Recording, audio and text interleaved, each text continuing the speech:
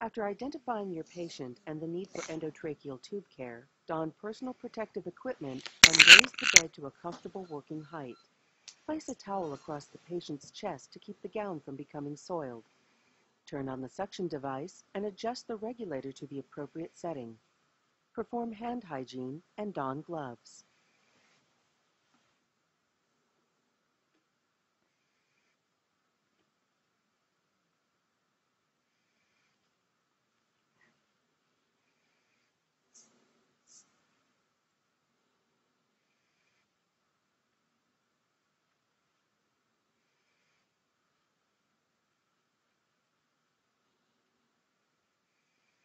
Start by suctioning the patient's mouth and airway to remove excess secretions.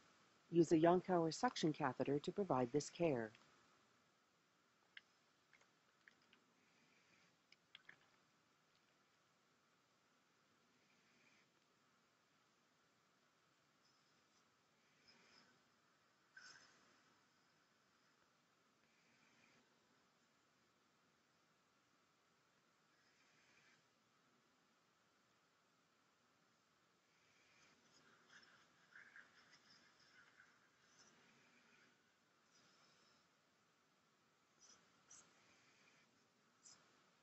Protect and secure the Yankauer suction catheter, remove gloves, and perform hand hygiene.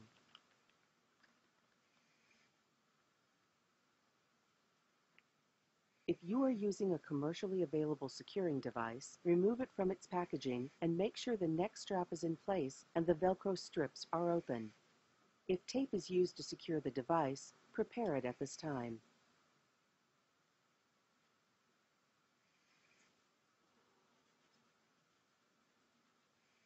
Don gloves.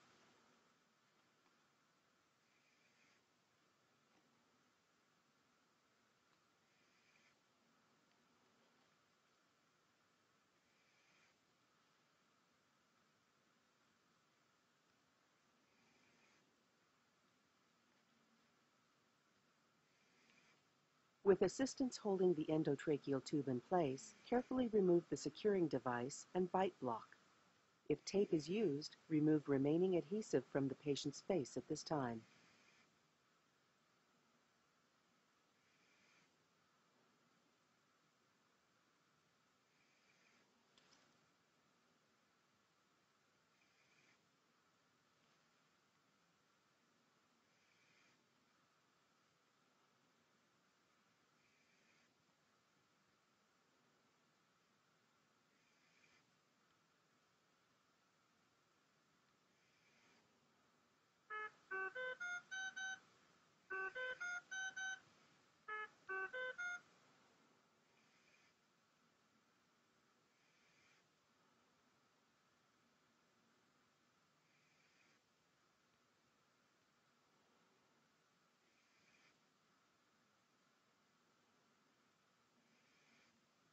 Beginning on the side opposite the endotracheal tube, clean the patient's mouth, gums, and teeth.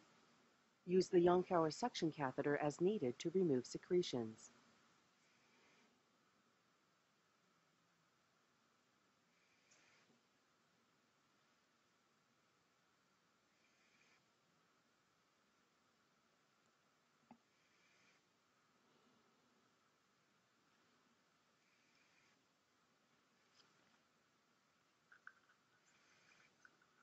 Note the centimeter endotracheal tube marking at the patient's lips or gums and carefully move the endotracheal tube to the other side of the mouth, making sure its depth remains the same. Clean the patient's mouth, gums, and teeth on this side of the mouth. Wash and dry the patient's face and neck as needed. For male patients, shave as needed. If tape is used, apply skin protectant as indicated.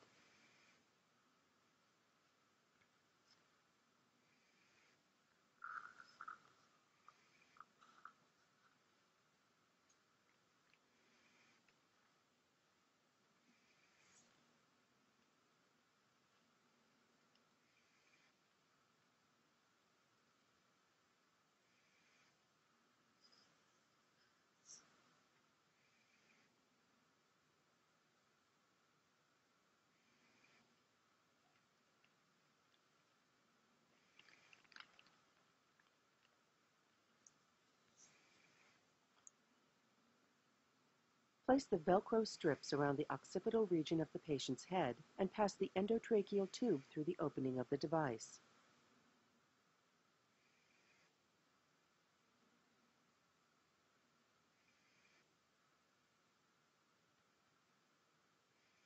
Confirm that the endotracheal tube is at the correct depth by verifying the centimeter marking at the gums or lips.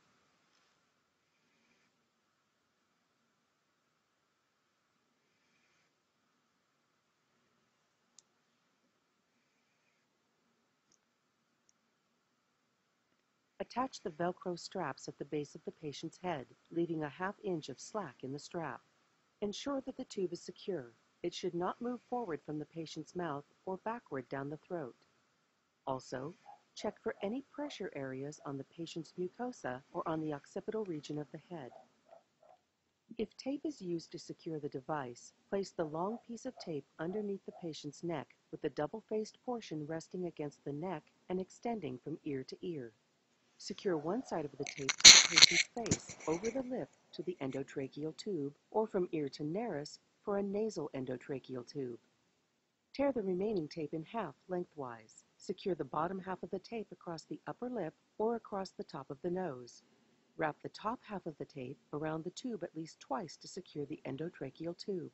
Gently pull the other side of the tape that is around the patient's neck and secure it to the opposite side of the patient's face and the endotracheal tube. With the device secure and the endotracheal tube stabilized, Reattach the suction source to the inline suction catheter and assess your patient for the need to suction the airway. Remove the towel from the patient's chest.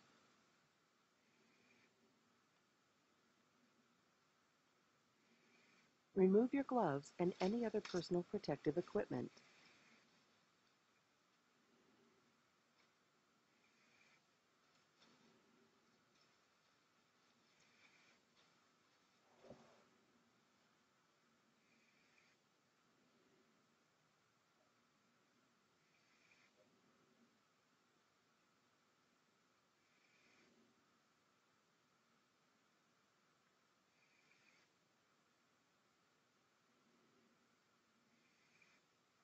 Perform hand hygiene. Document the appropriate information, including time of the procedure, type of suctioning performed, description of the secretions, including the amount, color, odor, and consistency, and your patient's response to the procedure. Perform hand hygiene, don clean gloves, and remove supplies used for the procedure.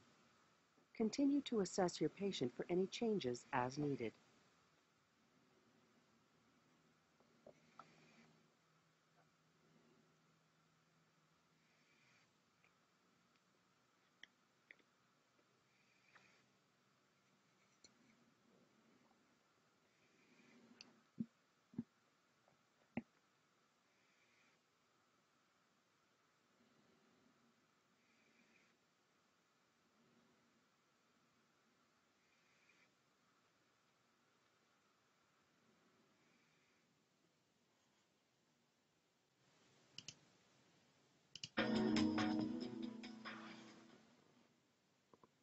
Attach the suction catheter to the patient's ventilation port with your non-dominant hand and hold the device securely.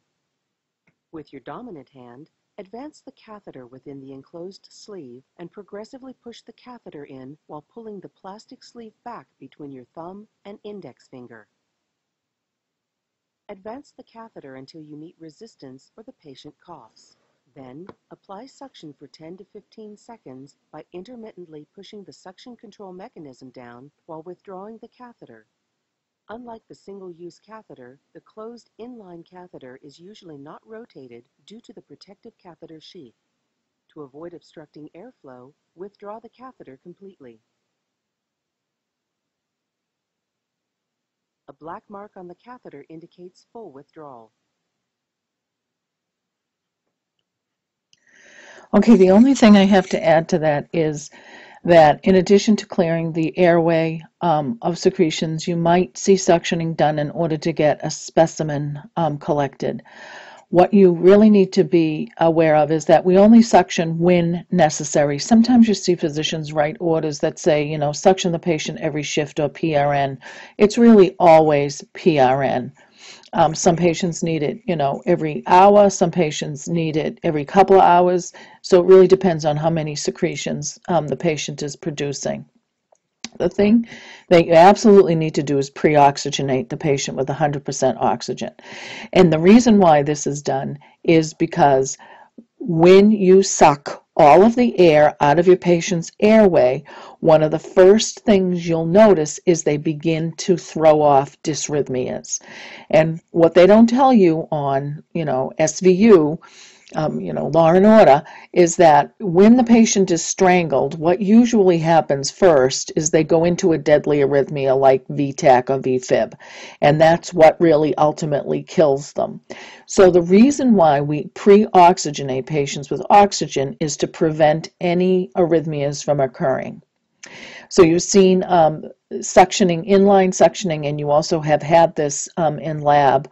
And then afterwards, we oxygenate the patient. And the whole time you're watching the patient as well as the monitor, um, if they're on one, which most likely, if they're in a um, vent, they're going to be on a monitor because they're in an ICU.